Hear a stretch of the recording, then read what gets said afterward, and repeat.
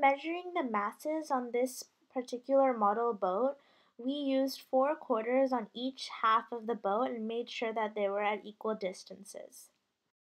This is one of the models of our boats and it is shaped in a long rowboat designs. With the greater dimensions of the length, the width, and the height, there will be more volume, allowing the displaced water volume to increase. We want the force of the water on the boat to be greater than the force of the gravity on the boat.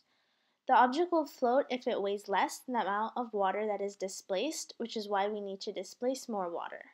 Sides of the boat will be longer and at a smaller angle to the water to decrease the water resistance and allow the boat to move faster. Since the force of the water spreads over a larger area, the pressure will be less.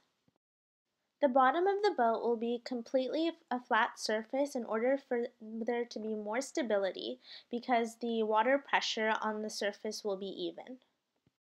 On the actual design, we want there to be sharper angles on the side to minimize the surface area. We will fold the sides of the boat and use limited tape on the edges to prevent holes and gaps where water can easily permeate through. The people inside of the boat will sit in a position with their knees up so they can be closer to their center of mass and increase stability.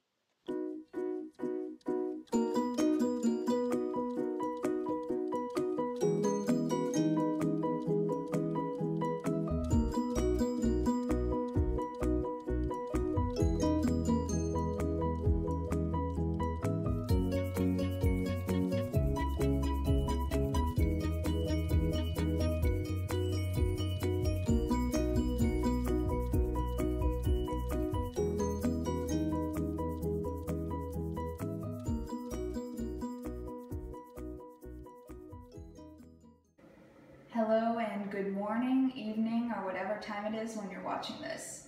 This is one of our model boats. It has a standard rowboat shape. It is 6 by 3 inches and the sides are 2 inches tall. The bow has an angle of 60 degrees and the stern is completely flat as well as the hull. This boat can support a relatively large amount of weight considering its size. However, after a minute or so of floating with weight, it begins to fill up with water, which is what's happening right now. This is due to the duct tape we use not being entirely waterproof. We intend to wrap the entire base of the boat in a black plastic garbage bag and then cover that with duct tape. We may use empty rolls on the base of the boat to increase its buoyancy. Both paddlers are going to be paddling in sync. They are going to need to keep the same rhythm and hopefully it's going to be at a fast pace. The one in front will be paddling to the right and the one in the back will be paddling to the left. The blade of the paddle, in this case the kickboard, will be parallel with the boat and must remain parallel with the boat in order to prevent the boat from rotating in a circle. The two paddlers need to push with the same amount of force to ensure that the boat will move in a straight line and not travel to the side. It's important that they travel straight from one side of the pool to the other because it will take less time than traveling in a curved or even a slanted line. When the paddlers reach the end of the pool, they are going to line the blade of the kickboard up with the side of the boat. Then they will draw in the kickboards to the boat, making the long side of the kickboard parallel to the boat instead of the blade. They may need to repeat this motion several times, but this should successfully turn the boat around and our boat will be able to complete the race. We are choosing to go with this model instead of a canoe because it can hold more weight.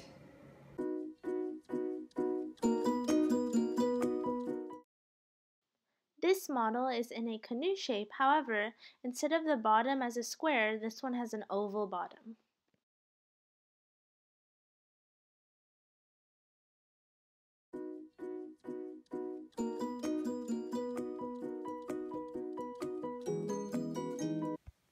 This design was modeled after the classic keelboat, which is the world's most widely used boat design because of its strength and virtual inability to flip.